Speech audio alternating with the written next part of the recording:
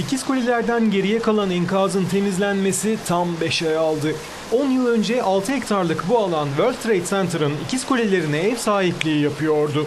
11 Eylül 2001'de kulelerin yıkılmasının ardından bölgenin temizlenmesine başlandı. Enkazı kaldıran itfaiyeciler ortaya çıkan dev tepeden dolayı bölgeye sıfır noktası yerine yığınak diyorlardı.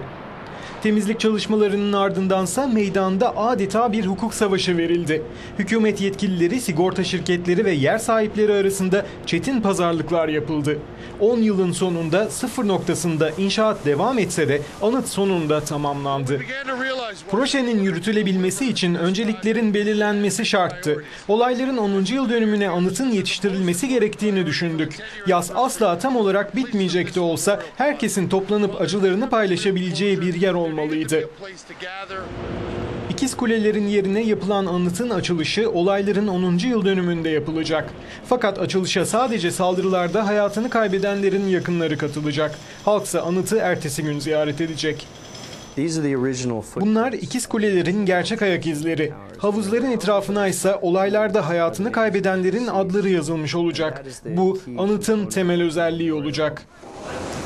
Devasa iki çukurun arasında ise kapılarını gelecek sene açacak bir müze bulunacak. İkiz kulelerden geriye kalanlarla inşa edilen müzede enkazın altından çıkarılan kişisel eşyalar sergilenecek. Tıpkı bu tozlu botlar gibi. Uh, Botların sahibi binada çalışanlardan biriydi. Versailles Street adlı merdivenlerden inerek iki bina ötedeki çıkışa ulaşmayı başardı.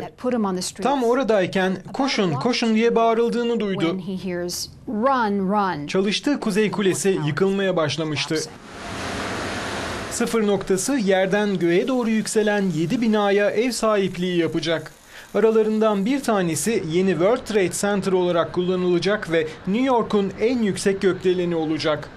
Binanın tepesinden bakıldığında yeryüzünün yuvarlaklığı bile fark edilebilecek. Meydanı ise umut ve yeniden doğuşu simgeleyen beyaz meşeler ve Çin balsam ağaçları süsleyecek.